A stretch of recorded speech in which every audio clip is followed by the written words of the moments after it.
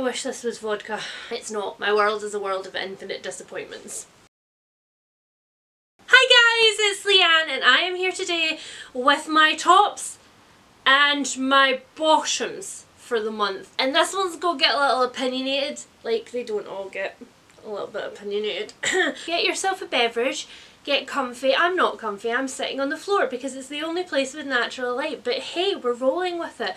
These are the sacrifices that we make to bitch about books on the internet. Well, I'm not going to bitch about them all, by definition, you know, like tops and bottoms.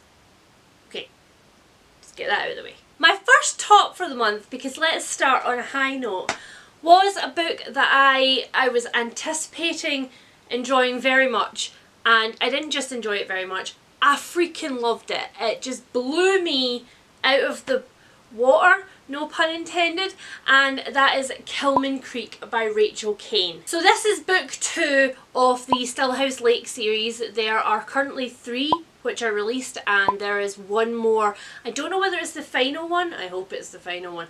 I don't know whether it's the final one or whether it is just a, a continuation of the series but that one comes out next year so I guess we'll find out. I've talked about this series before and obviously it's a bit difficult to discuss this book in lots of detail because it is the second book in a series but just in case you haven't had me just drill it into your cranium that you must read this book I will tell you a little bit about the first one Stillhouse Lake. This one starts with Gwen and her two young children. They are driving home and as they turn into their road they discover that there is a lot of police, their fire crews, their neighbours are out it's crazy and they find that somebody has taken the sharp turn into their road too quickly and has finally done the thing that Gina was worried about her entire life and has just ploughed into her garage. Hello, are you good? Hi. Oh, thank you. There we go, mutual kisses. So Gwen, uh, oh hello. There are so many people and they're all here. You sat on him, Nimbus. You literally sat on him. He's so rude. Your brother is so rude. I know, I know. And then no spoilers because it's on the blurb of every one of the backs of the books. But Gwen then discovers that her husband is a serial killer. A quite prolific serial killer. They are put in witness protection, they're relocated and they need to start again. And then as if all of that wasn't bad enough, a body turns up in the lake in front of her new home, killed in pretty much exactly the same style as her husband's previous kills. So let me just tell you the things that I love about this series. I absolutely love that I went on a journey from really not liking Gina whose name is changed to Gwen so that that's at least convenient for you to remember. I went on a journey from being really like, oh, you're suffocating your children and you're not making the right choices to realising that I had been manipulated into the position of the people who were on the internet and who were judging her but didn't know her experience to then really getting to know her and rooting for her. I love every single character in these books. Every single character that is introduced just is quite um, fully fleshed out very quickly. I felt like I knew a lot about them very, very quickly. Even the little side characters in this one had a really good personality and I think that's because Rachel Caine comes from writing urban fantasy where that's something that happens a lot in the genre. Often urban fantasy has many, many, many characters who are recurring and slide in and out and so you have to make them all different from each other and all recognisable instantly and she's really, really good at that. Um, I really love Lanny and Connor who are the two kids in this. The two of them and their experience with their illusion of their father and their current struggles with living with their mother, all of it, it's just very authentic. I felt at all times as if I was reading a true experience and for a thriller that is just sometimes quite difficult to achieve. Sometimes I'm quite aware that I'm reading a thriller, that I'm like, I'm thumbing through the lives of people who don't actually exist and thank God because what they're going through is awful. But with this one, I felt like I knew this family. I felt like I knew their struggles and I wanted to protect them and that is just, that's epic. I just never knew what was going to happen and in the second book a thing happens which literally made me sit up and go, what the bleepity bleep bleep sweary word just happened there. And I read a lot of thrillers, so that's quite difficult to do these days, and it happened, and I was happy. I was very happy. I was very happy. Which unfortunately leads me on to my first bottom of the month. So I went straight from reading Stillhouse Lake to reading Killman Creek and then I went straight from Killman Creek into Wolfhunter River because I was desperate to keep following these characters. And what I thought Rachel Caine was going to do was follow this cast of characters several years down the line. I, I thought they were going to have vastly moved on with their lives, that the, the massive things that had happened in the plot previously were going to be like things that we felt the shockwaves from and the repercussions for for years to come. And instead, the book starts four months after the original story, which I felt like was a choice, and I'm not entirely sure it was a choice that I liked. So I, I, I you know, I, I gritted my teeth because I was like, I love these characters. And then at the beginning, we get like a weird disconnected introduction from a character who is great and the introduction was great and I was like oh my god keep telling me about this character. And I forgot that I was reading another book in this series and then suddenly we're back with Gina slash Gwen and I was like I don't know why we're here. And then Gina slash Gwen makes uh, one of those decisions that makes you immediately go that uh that that wouldn't that wouldn't have happened that's not in character at all why did she do that that's against everything she's ever done in all of the other books. And I understand where Rachel Caine was going with it.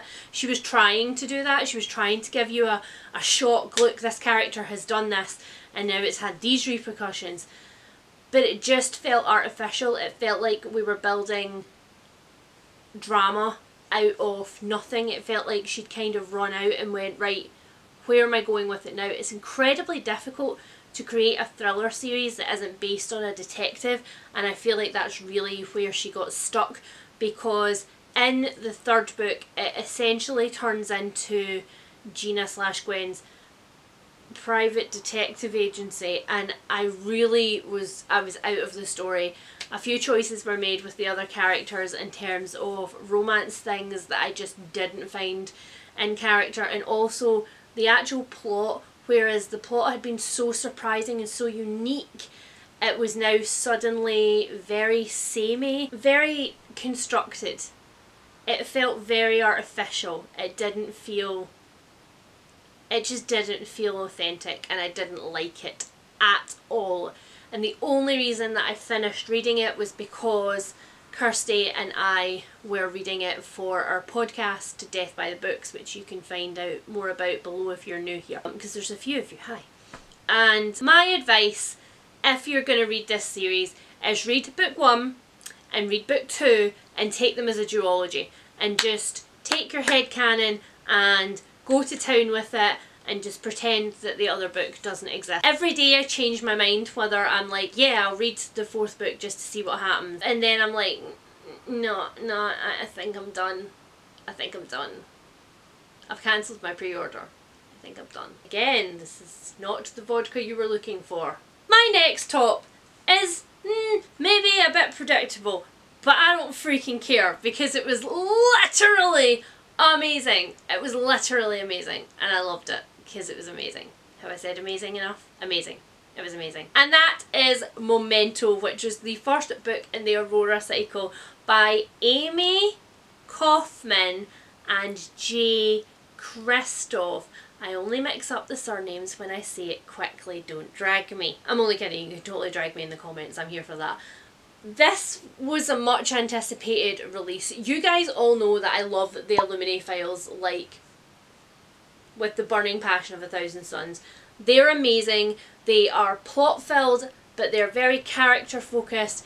They are definitely like page turners and a new thing every second. And I was really worried that this one wasn't going to kind of reach those lofty heights because it was a lot to live up to, especially because Amie and Jay decided not to make this one a mixed media book, although there are, at the start of each chapter, there is a little sort of um, a page that looks like this, which is kind of a throwback to Illuminae, but it's much more of a traditional story. I miss the mixed media, but at the same time, they've kind of done that, and I I don't want it to become a gimmicky thing. This is about Tyler and he attends Aurora Academy which is an elite academy which trains space cadets mainly for peacekeeping and humanitarian aid missions. Top of his class, he is the golden boy, he is the Scott Summers of this academy.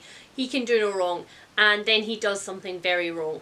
Very, very wrong. He goes out the night before the selection of the squads that they're going to be in for the rest of their time working for Aurora Academy uh, because he goes into an interdimensional weird thing and finds this person. And this person may or may not be the catalyst for an interdimensional warp thing that has been going to happen for a really long time. You know, standard Jay and Amie stuff. And so when Tyler gets back, he gets left with the absolute dregs of the academy. He gets left with the people that nobody else want and they're all on his team and he just has to make the best of it. Is this a good enough fix grin? No, I can't do it. My face doesn't lie. If, if I don't like if I don't like something it just is it's there. It's just there. Certain talents I have never mastered. And I think that that's the absolute star act, maybe pun intended, of this book is that the cast is so strong. Jay and Amie have managed to go from two perspectives in each book in their last books to going to multiple perspectives and there are, I was worried when I picked this one up, there were multiple perspectives. We get the perspective of literally everybody who's on the squad and so it's, it can be quite jarring right at first but after that I totally settled into it. I had sympathy for everybody. I didn't feel like I was very pleased with some of the characters' screen time. There definitely wasn't enough of each character, but I also understand that if there was going to be more of each character, there would be another like 200 pages on the end of this book, and it's already pretty long. It's actually, I think this hits the 400 page mark. Let me check. Uh, yeah, 470. That's, that's 470. Wow, I didn't remember that. Hello, person who has just messaged me. I am filming. Shh. There, I definitely wanted more of some characters, and there has been a few controversial things in this about diversity, and given that the book explicitly states that this is set in a world where all different kinds of love are acceptable in all different, you know, interspecies romances and that kind of thing. And that uh, it's it's clear that gay, straight, you know, bi, demi, ace, etc., etc., all of the LGBTQI plus plus plus spectrum is accepted and normal and not something that anybody really questions. And then everybody's hella straight, and all of the pairings that pair up are hella straight. And so that was a little bit frustrating. And there's also another character in it who is hinted at having like learning difficulties but it's never explicitly said but that's where we're maybe going with it and I was a bit uncomfortable with that once it was pointed out to me. I didn't actually see it at the time. I don't know what, you know, once I, it was pointed out I was like, oh interesting, okay, I didn't pick up on that but I'm a bit uncomfortable that that is where that's going now now that it's in my head. You like my vaguey vague vagueness? I'm trying not to give any of this away that might be actually plot spoilery so but for all those concerns I really loved this. It's on my top for a reason. I was grinning from ear to ear through most of this. Yeah. Jay and Amie can do almost no wrong. Now the whole idea of these videos is that I talk about my tops and bottoms and I don't talk about anything in between because I don't usually have anything to say about the in-between books. So I'm calling this one a bottom because I had tons of issues with it. However, I am I am gonna say it's probably more of a middle book but I wanted to talk about it because this is the second time I've read this one. So the book that I'm talking about is Columbine by Dave Cullen. Uh, obviously, from here on in, I'm going to be discussing Columbine and what happened there. So if you feel at all sensitive to that and you you don't want to listen to it, this is the timestamp that you can skip to, and uh, I will I will stop talking about it. So the first time that I read this one, I actually read it in physical form, and I was really underwhelmed by it. I read this one after I read Sue Klebold's book A Mother's Reckoning. Sue is the mother of Dylan Klebold who was one half of the pair of kids who went in that day with guns and killed fellow classmates and teachers. And Sue's story just ate me up. It blew me away. I couldn't process how sad it all was. It just left me with such a why. Just it was so pointless. Everything that happened was just so pointless, and so many people just were injured by it and it was just it was sad it was just sad however when i picked this one up i had really high expectations for it last time and i think that was partly why it just didn't hit the mark for me it's been on my mind since i read it and i just couldn't stop thinking that I needed to pick it up again and that I maybe needed to give it a chance on audiobook. The narrator for it is fabulous. He does a wonderful job for the most part. And obviously all of these accounts are pulled from interviews so would it be interesting to just read a book full of interviews? I think yeah it probably would be but obviously maybe not as compelling shall we say than the way that Dave Cullen went about this one but it just left me with an icky feeling. I kind of felt like I was exploiting people's feelings reading this. I kind of... I, I mean, I know it's won a lot of awards and I know that lots of people love it, but I wonder if part of the reason that so many people love it is because it is really the only definitive true crime book about Columbine. There are many books out there about Columbine, but none of them had the access that Dave Cullen had or the sort of completeness that Dave Cullen had in this one. So I think it both goes for and against him in that respect. I feel a lot like he should have just stuck with telling what happened rather than trying to show it and I know that that is not always as immersive for a reader but I argue that I don't really want to be immersed in this experience I just want to learn about it. Eh, I don't know. I do think though despite all of that that it's important to note that this one is very good at putting the victims front and centre.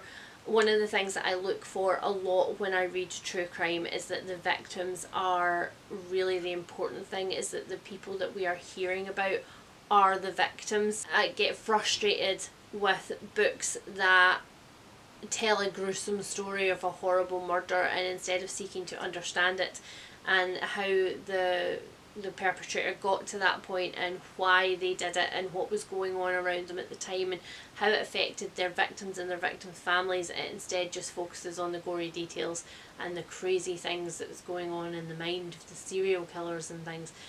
And, and that just that just annoys me a lot because have we not learned from glorifying these people that it's probably not a good idea. So that was my uh, quite insistent tops and bottoms for the month. As always, if you guys have read any of these books and if you have opinions because we lo- I feel like I should do the thing that Ursula does in Disney when she's like body language opinions we love them. Probably shouldn't do that face. It's not that flattering. Stop this. I don't know what any of that was. Anyhow if you have read any of these books and you would like to tell me what you think of them please leave that in the comments below if you are going to be picking up or not picking up any of these books because I have influenced you. Also please tell me about that in the comments below and I will be back very soon with another weird way of picking my TBR that I'm going to regret. Bye! Don't love vodka. Hmm. Maybe it could be though. I've done all my jobs for the day. 4.20 in the afternoon but I'm an adult. I can do what I want.